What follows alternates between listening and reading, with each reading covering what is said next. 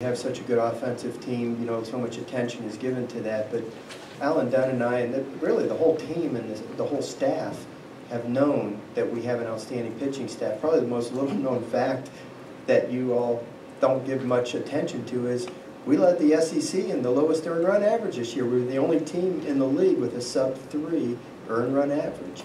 I mean, you don't do that with mirrors in this league.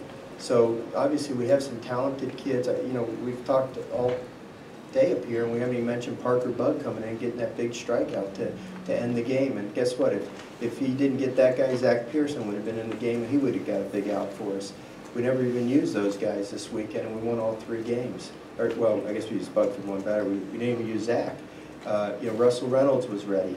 And, um, you know, we've got, we've got a good, deep pitching staff. The work that Alan Dunn does with our pitching staff is, really beyond words to describe. He knows how to get the best out of each and every one of those guys. And uh, I, I think that they have a mentality that they have to go out there and pitch a low-run game. That's not a, a- a- that's not a reflection on their lack of confidence in our offense, just they want to take that responsibility onto themselves. If, if it means you have to win a low-scoring game, then we're going to pitch it that way. And, you know, most of the time they do.